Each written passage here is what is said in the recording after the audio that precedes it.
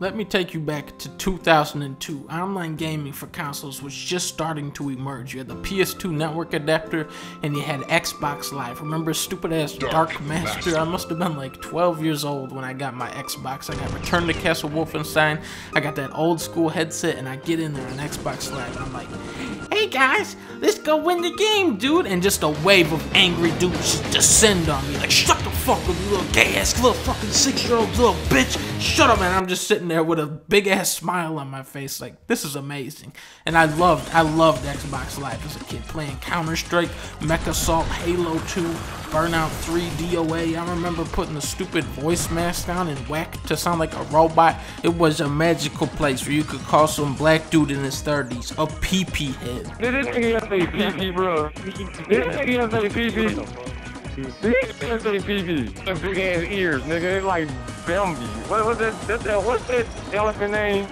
Bambi? Dude, they can hear me, and I can hear them. That's the coolest thing about Xbox Live, the voice. And you would just make friends with the most unlikely people that you would never meet in a hundred years in real life. And I've met some of my oldest friends on Xbox Live. You know, some of the funniest, most genuine people of all time. You know, maybe charging 50 bucks back in 2002 when the consumer didn't know anything about that, you know, it was just coming out.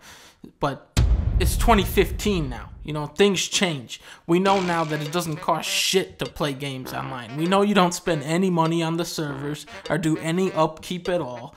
Xbox Live is essentially Microsoft taking money for doing absolutely nothing. No other consoles were charging you money to play their games online, and yet Xbox still did it the worst out of all three of them. The Gears of War, you guys remember this game was so inconsistent and laggy, and the host would always just clean house in that game. And then over here, you have PS3 with Resistance 2, completely free to play online, and you have 60 players in a match, and it, it just worked beautifully. And that, that was probably the moment where I was like, okay, why are they still charging me for Xbox Live?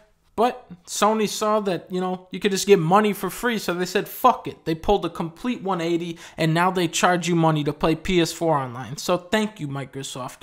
Thank you for inspiring your competitors to sink to your level. The original white Xbox 360 was a terrible piece of hardware. You know, back in 2009, it was reported that 54% of them had broke down, and that number has probably gone way up since then. I remember I got the Red Ring uh, back when Blue Dragon came out. I was so sad because that was pretty much the only thing I was doing was playing Xbox every day, and a shitload of 360s were getting Red Rings. So Microsoft responded with this fake ass repair policy to save face, claiming that that they would extend warranties on older units to fix the red rings. So what you had to do was you had to call support. They would ship you a box in like four weeks. You had to put your Xbox in there, ship it back to Microsoft, and then a month later, they sent you your Xbox back and it was still broken. And it was such a shit show. And I did this six times. Six times I sent it back to Microsoft and they sent it back broken every time. And on my seventh attempt, the guy on phone support tells me, Oh, I'm sorry, sir. You're no longer covered by the warranty. So, yeah, Microsoft's actual response to every 360 breaking down was hey, buy this new black Xbox 360. This one actually works.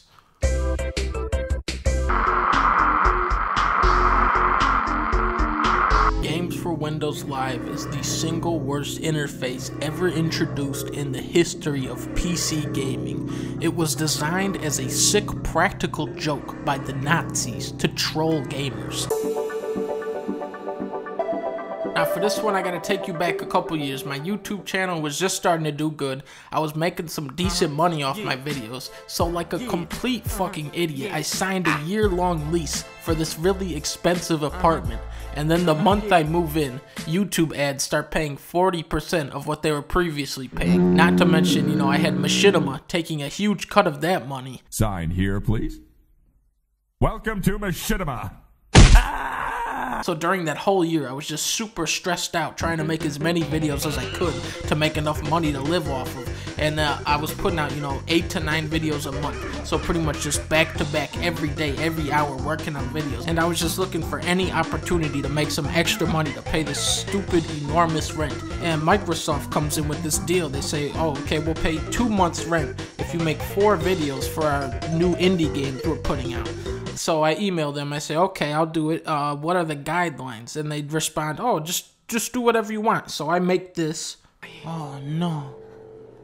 These people must have beat this whole boring ass game. And within two hours, Microsoft takes down the video. They cancel the deal with me, and they don't even pay me for that first video. Now, this is the knockout punch. This is where Microsoft sums their entire purpose as a company into one single moment. Valve was releasing a whole new set of maps for Left 4 Dead for free. They were going to give you all the new maps for free. Microsoft saw this and told them, no, you can't do that because they didn't like the precedent Valve was setting with the free DLC and they didn't want other companies following in Valve's example. So you had the maps for free day one on PC, and then three weeks later, you had them for twenty dollars on Xbox. You have to, you have to ask yourself, what kind of human being would perpetrate such terrible, evil acts upon the gaming community? You know, unless they weren't people at all. Think about it. Xbox Live, the faulty hardware, Windows 8, $13 billion worth of sand. Microsoft is run by ants. It's run by ants. DreamWorks, you guys know DreamWorks, right? Shrek, Madagascar, How to Train Your Dragon. DreamWorks was actually founded by Microsoft's own Paul Allen. That, do you guys recall what was DreamWorks' first movie they put out? Oh, what, what was it? It was it was ants. It was ants, ladies and gentlemen. It was fucking ants. I rest my case.